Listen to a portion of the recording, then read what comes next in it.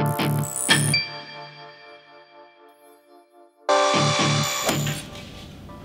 right, here we are. It's Festool Friday again, but it's also Festool Live, and welcome back, everybody. We got a heck of a program uh, going for you today. We're going to be covering the MFT3 and how to set it up and calibrate, square it. Okay, I just want to do my call outs like we always do. In the room, we have Big D on this camera that I'm looking at. Right over here, we have Chris on the secondary camera. Over here on the whiteboard this week, we have Brian Knudsen. He's our sales manager in the area. And also right over here, he's online answering questions, is the man, the myth, the Monday legend, Brent Shively, our other trainer here in Lebanon, Indiana. Now, speaking of Indiana, we are opening, reopening for business. We are practicing social distancing. There's only five people in the room. We've been hand sanitizing, washing our hands. And Festool has been open for business, and we appreciate the business, everybody. Okay, so I think I covered everything I needed to cover. I'm looking at my, oh, geez, I'm criminy. I got to thank the rest of the Festool team, from sales to inside sales, customer service, repair, warehouse, finance, executives, management, directors. Thank you, everybody. Hopefully, everybody is staying safe. Okay, now, really quick, I want to thank you. And I also want to make sure you understand this is IG Live, of course, because you're following us right now. But this will be a story afterwards. So if you missed something, you can watch it for the next 24 hours on IG Stories on Festool underscore USA. But also, we repost every Monday on YouTube. So pay attention to that one. It's going to be on LinkedIn, Facebook, and next week, equipment's in. We've been practicing. You're going to see a different production quality. And guess what? It looks like it's YouTube Live. So check our social media to make sure that it's not here if it's there. Hopefully I made sense. Okay, next, I am going to, and when we were designing this presentation today, uh, I got some great input. I wanted to cover, like I do in every single training class, is how to set up the multifunction table, the way we're taught from the factory. But somebody said something to me and I went, huh, that makes too much sense. I'm gonna sit down my six foot stick over here and why? Why an MFT3? Okay, an MFT3 stands for multifunction table, three being the third generation of it. If you can follow me over here, cameraman, I first want to talk about it like this is a basic, doesn't come with any of the hardware. okay? But it makes a killer um, job site work table. It's a great clamping station. We, we make these. These are called clamping elements. They come with dogs. They fit in these holes, obviously dog holes. These are bored at 20 millimeter on a 90 uh, degree array. But we also make clamps, like this is our F-style screw clamp, okay? And a lot of people don't know on the MFT, if I need to clamp something vertically, with a screw clamp, I just put it in here and lock and load. I actually make these brackets to work with our what? Our vacuum clamp, okay? Also, over here, we have an accessory table that comes with the uh, MW1000. We made a really mobile version of this that you can carry your tools in like this. It comes with a drawer slide, okay? But it also comes with this table. But you can also link it. Guys, remember, I've talked about this. Festool's a system. You can link this table to a regular MFT table. So you get extra workspace. These are our ratcheting clamps. We make the screw style clamps in a deeper reach. The reason I wanted to talk about the clamps really quick, okay, was to, a lot of people don't realize we have such a choice in the Festool system. Okay, now, why an MFT? Now, let's talk about cabinetry just for a second, okay? Making wide uh, crosscuts. Now, when you take it off a table saw or you use the track saw with the parallel guides on a sheet of plywood, if it's under 12 inches, you need to crosscut it. I'm going to go right over here. Just let's span right over here. I'm going to go right over to my Kapex. Okay? if it's less than 12 inches wide. If it's more than 12 inches wide, say you're doing a base cabinet, 600 millimeters or 23 and a half inches, okay, I'm going to go to this.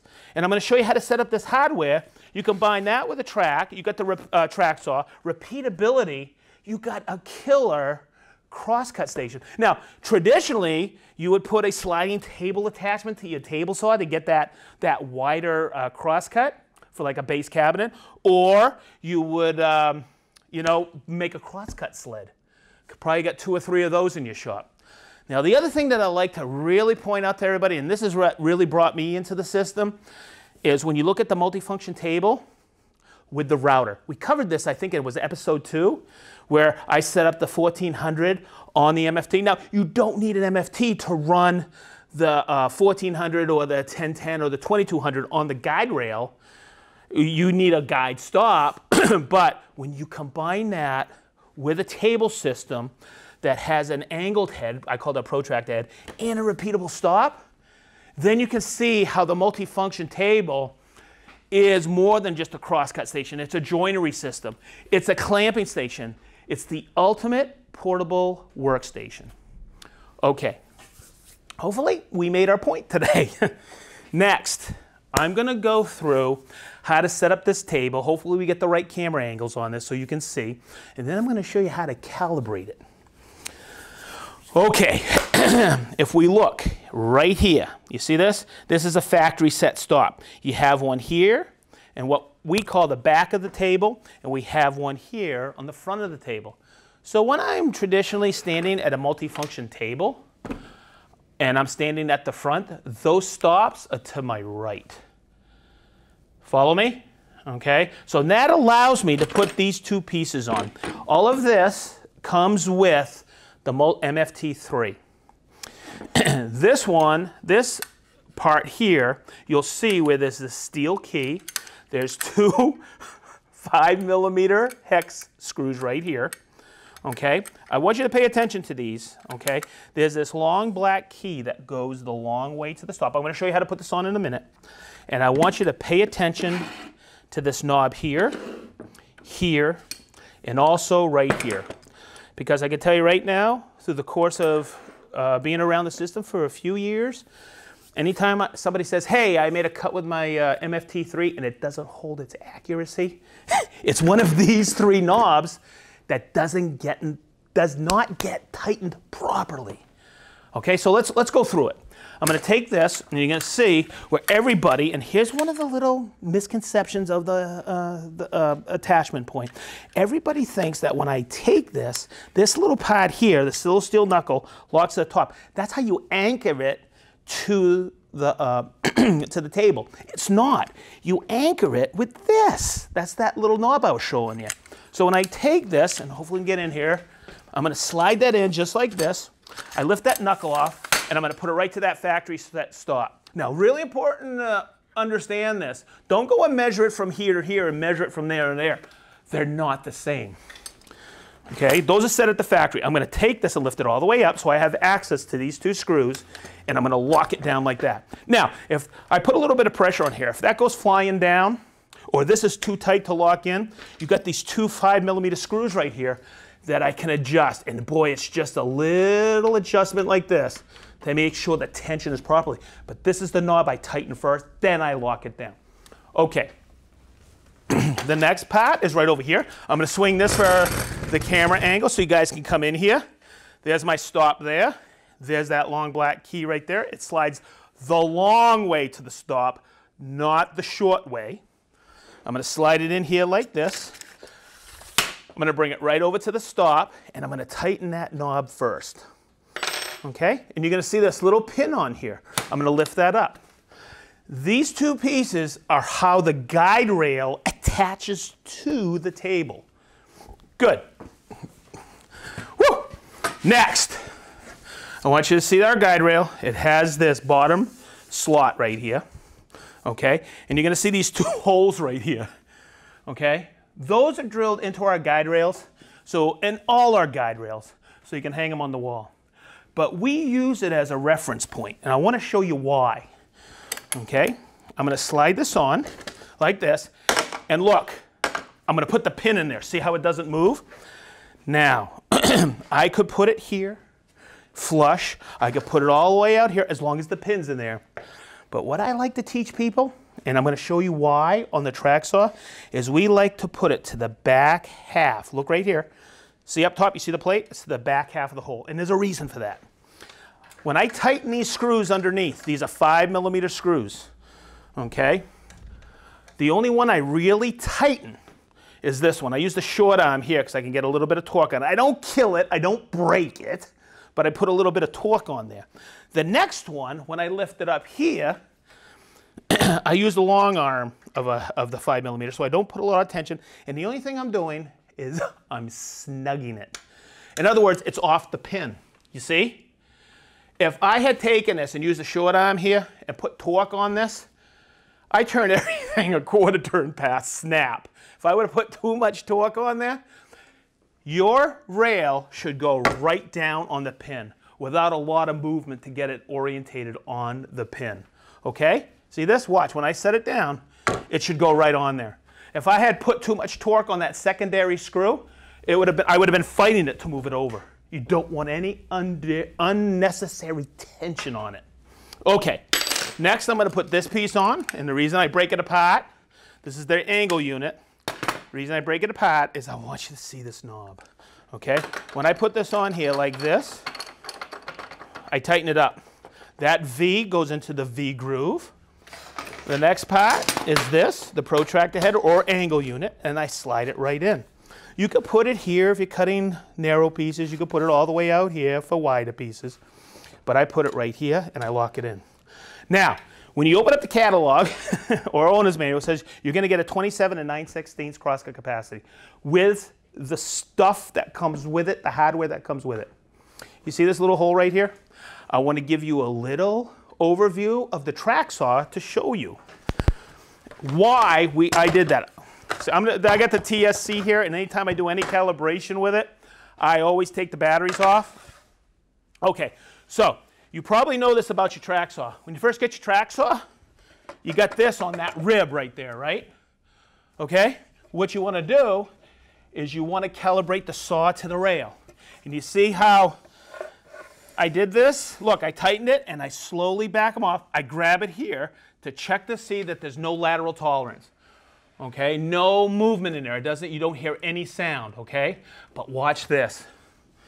See right here? If I take one of those cams off, look, I lose my accuracy. So the reason I wanted to point this out is we have, and we get this cameraman, come in here, see this. You see how the splinter guard isn't cut all the way to the end? And look over here, it's not cut all the way forward. It's because I've never cut them all the way through unless I have connected rails. Follow me? So that's why we set the guide rail here to the back half of that hole, that plate, so you can get that 27 9 16 and the cams don't come off. If you go like this to cut all the way through, you could lose the accuracy. You lose your lineup if possible. And hopefully you're following it. So I'm going to take this and set it off to the side. And hopefully that explained it for you. Okay, that's why we tell people to set it up like that. Now, the next part of the jigsaw puzzle, as I call it, is this. This is the guide rail. Come in here so we can see this, cameraman. See these two little T's like this? I'm gonna just tighten it. What that does is when I turn it, it tightens it in. So I'm gonna take it, and when we set the rail, we don't put it perfectly even. We set it, and I'll, I'll explain why. We set it to the back half of the hole right there. And the reason for that is, if I set this perfectly even, yeah, I'm cutting with 90 with the track saw, but the beauty of the track saw is no matter if I'm cutting at 90 or anywhere between 0 and 47 on the TS55, guess what? It tilts on the same trunnion line. So if I take that and if I left that like this, I would be cutting the aluminum bracket. Okay, you don't want to do that. So what you want to do is to eliminate that, you still have plenty of support. You put it to the back half of the first hole that's under the guide rail. I'm going to tighten it up. Now, right here, I have this knob tight, this knob's tight, but I want to show you this. See this pin? I have a breakaway. I have this pot right here. See it?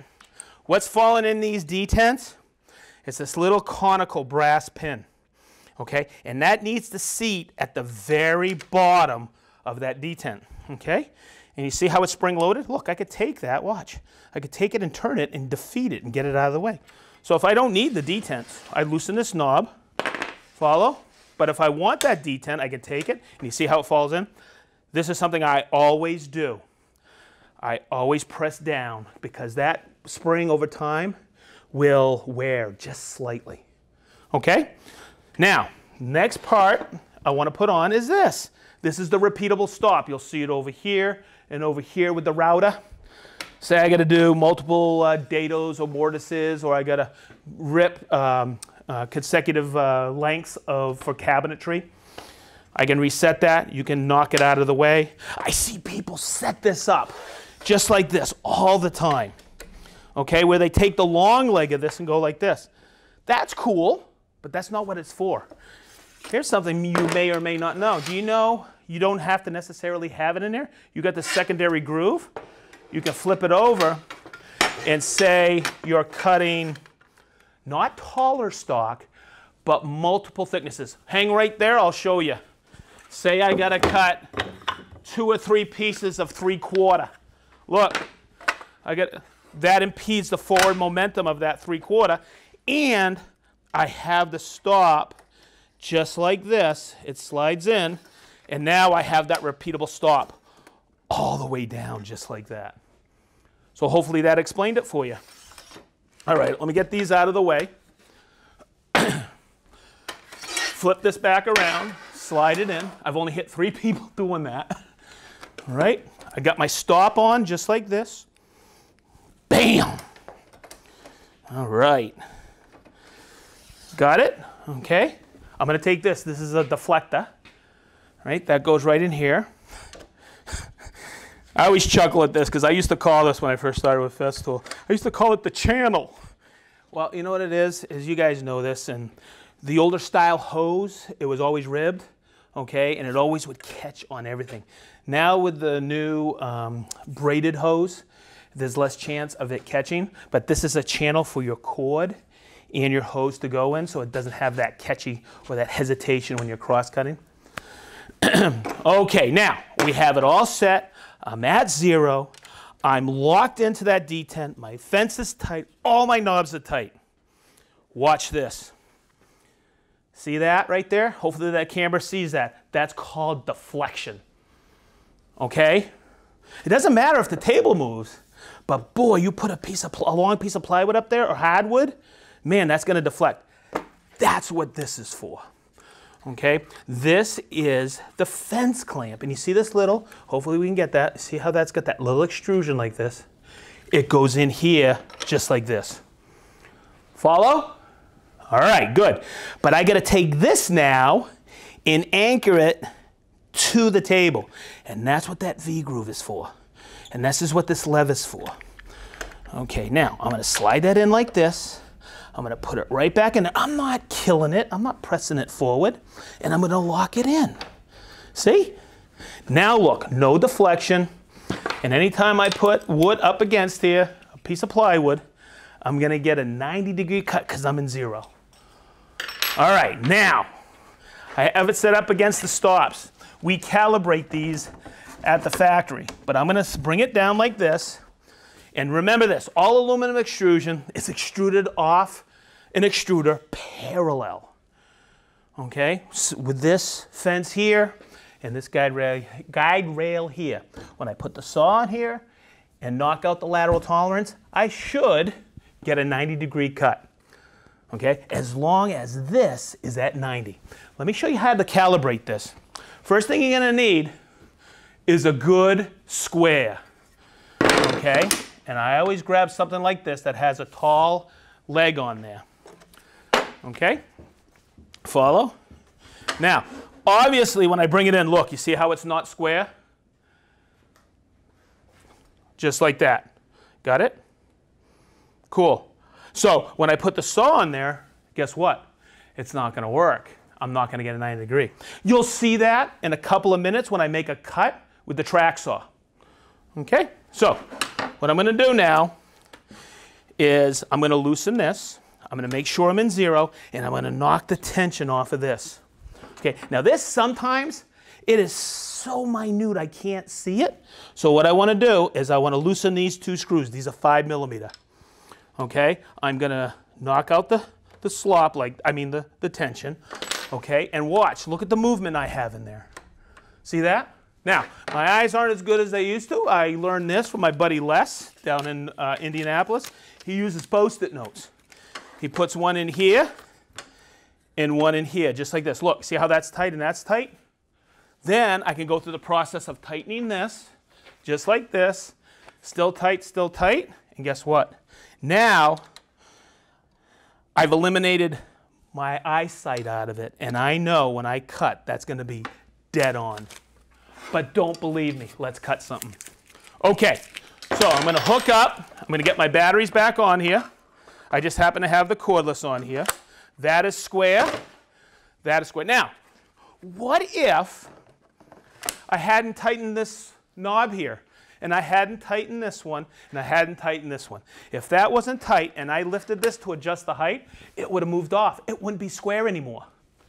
Okay, so I'm going to take this, just like this, and I'm going to slide her in, just like this. I'm going to set my stop down here. I don't need to cut a big piece. I'm going to lower her, and I always do this. Now, here's something that somebody asked me, say this was a narrow piece, and they're adjusting this one. I always move my board back here, put my pressure on there. Make sure, you always got to make sure that that pin is up in that channel. And now we're ready to make a cut. I'm just going to whale my dust extractor over here, grab a cord. Yeah, baby. Woo! Let's see if I got enough Oh man, let me turn that horn. There we go. And let's get cutting. I didn't know if I have time today to make some cuts, but I'm glad I do. Excellent. We're writing a lot of questions on the board. I will get to those in a few minutes. I just want to make a cut. Oh, a cord, a cordless saw doesn't need a cord. Oh my god. Oh, that's funny as heck. okay, I want to see if I got Bluetooth going. Let's just put it on auto. That should be synced. Okay, uh, I think yesterday or the day before I did a, a video on IG on syncing everything. I got a Bluetooth battery on here. I'm just going to turn this on. Listen. it's synced over there. Hey, B, can you unplug that dust extractor over there? Just out of the wall? Beautiful. Perfect. Okay, so I want to sync the TS55, okay, or TSC55 to this module here. Hopefully we can get in here. Look, you just hit the button like this. See how it's going slow? I'm just going to take that and watch. Now I'm synced. So I'm going to hook up my, my dust extraction and let's make a cut. I've already set the depth. We've covered that before. And I don't and guys, we're going to be doing a lot of IG lives on the um, the saw. Now, I want to I want to call somebody out. I would always hear from people, "Man, you're always catching the hose on the rail." I very rarely had that problem. It's because about 12 years ago, I was watching somebody, his name was Alan Kensley, and he would always take the hose and the cord and wrap it up around his arm. I've been doing that ever since and never had a situation. So I'm gonna start it. You always start the saw up, you plunge, and you make the cut. And when you use, and this is the beauty of it. This is the beauty of the track saw. This is the beauty of the track. If we look in here, and hopefully this comes out on camera. Uh, somebody asked me last night, what's your favorite tool at Festool? And it always will be the track saw because of this cut. There is no chip out at all. And that is of, and if we look right here, that veneer gets thinner every single week. Okay? So that's the, that's the setup of the MFT. Um, Same thing, using it with a router. Okay, you'll get perfect mortises, dados, grooves, blind dados, sliding dovetails. Okay, Whew. all right. So, first question. can, can we build our own MFT top? Absolutely. Okay, but I may warn you on a couple of things. You see this? These are CNC'd in. They're 20 millimeter bore. Okay, we sell replacement perforated tops. Now, you're gonna notice when I set depth, okay, I'm just kerfing that, that board. Okay, now, if I continually cut here, I'll have a cut line here. Do you know that that is attached to this frame with four screws? I could take that and flip it around so you, or turn it upside down. So you may not have to replace it for quite some time. We, we, we, we sell them. Uh, it's a replacement part on ECAT system on our, but I know if you want to go and make your own, you can, okay? Just make sure that these are bored absolutely precisely. I've done it once at home and I came in and I bought one. okay. Okay, so, oh, that's a good one. Um, you're going to notice on all my MFTs in here, I do not have cross members, okay, except for one. Uh, I usually, if I'm hand planing something, I'm usually right here, okay? But you're going to notice, if we come over here, there's a little bit of a wobble this way, okay? And I totally understand it. But I don't, for me, cross members aren't, don't make that big a difference, but they come and this is another version of the MFT. It's the MFT Conturo. This top and whole frame is sold for our um, portable edge bander, the K65. You put it in here, it literally takes 20 seconds. If, if I go slow to insert that, you can do um, small parts on here, but you can also do beveled goods. With it comes the cross members okay? And once again, you still have the support like you do here in this orientation where I don't have cross members, but boy, that, that seizes up that movement this way, okay? Hopefully that answered your question properly, and you can get them for any table. Okay, so how do you cut narrow pieces? Excellent question. Um, let me get a couple people. Let me get a couple people. Let me, hey, let me get some people. No, let me get some pieces right here. Say I got to cut some narrow pieces. This is 50 millimeter or two inch. Okay, now, there's sometimes when people come into a training class and they look at this, they go, I'm having such a trouble cutting narrow pieces. And I'm like, why? I automatically do this. Look, same thickness wood, because they don't, they think there's too much uh, deflection or flexion in there. Take another piece and put it right underneath. See how that sucks it up like that? And it's perfect. Okay, and hopefully that, that got it. Oh, here's one. And I have one of these at home. There's an older MFT, okay, version. There was an MFT 1080 and MFT 800. On that one, the, oh, there's a lot of differences. Uh, they're not, there's some huge differences, a couple minor differences. Uh, the height's a little bit lower. Um, the protractor head only swings one way. But the process I went through about squaring it, getting a good square, making sure it's 90, there's, and you'll see it, there's a little square emblem on it. I don't have one here. There's a little square emblem with one screw, and that's how you square it. Okay, but go through the same thing. Make sure the knobs are tight, the three knobs. Okay, make sure that that pin is down in zero, and make sure there's no tension on the, the rail clamp. Okay? Cool. How we looking? Woo! Eh, oh my goodness. I always I always look at this. Boy, we have people from Ecuador this week. We have people from Sweden this week.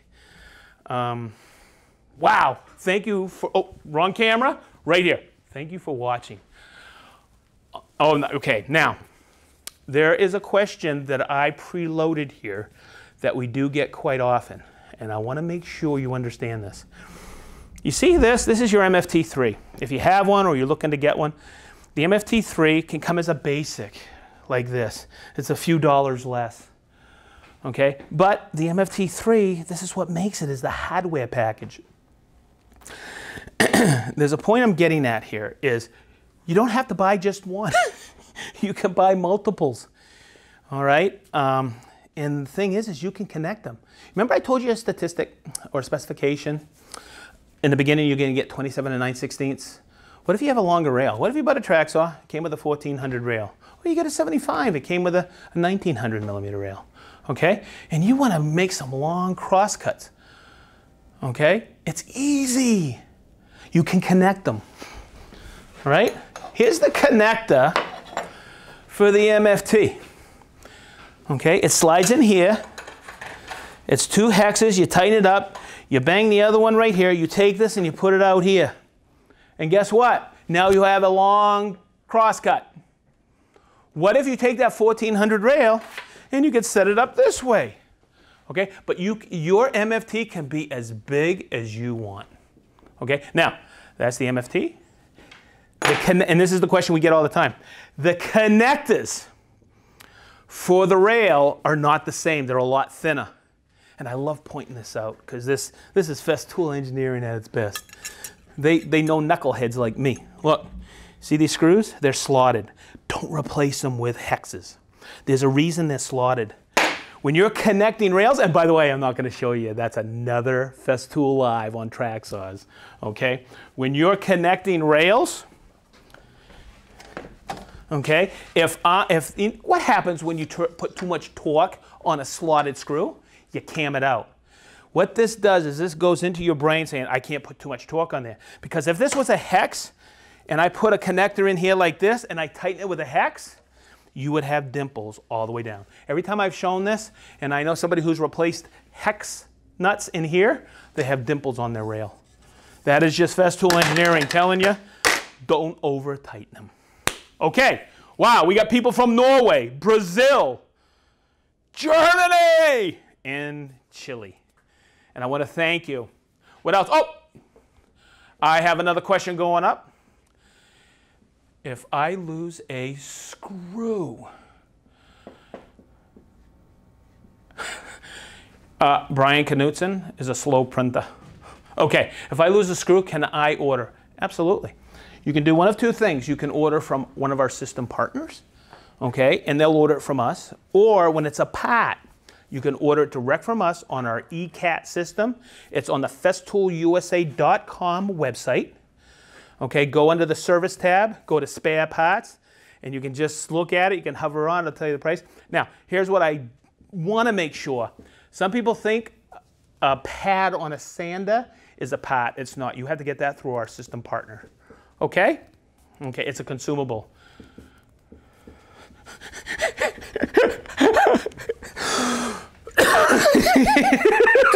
Brent, you know how to make me laugh. Here's a question I just Okay, I'm going to say this correctly. The MFT does come with smart power. It comes with smart pack. okay. All right. Is that it, guys? Okay. Once again, we're getting. I think we're getting better at this. Uh, we started out with just a few people here, and now more people get involved, and we love it. Uh, we love you guys. Please stay tuned, and we will continue doing this.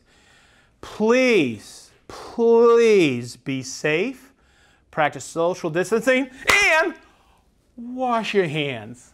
Thank you very much for attending Festool Live.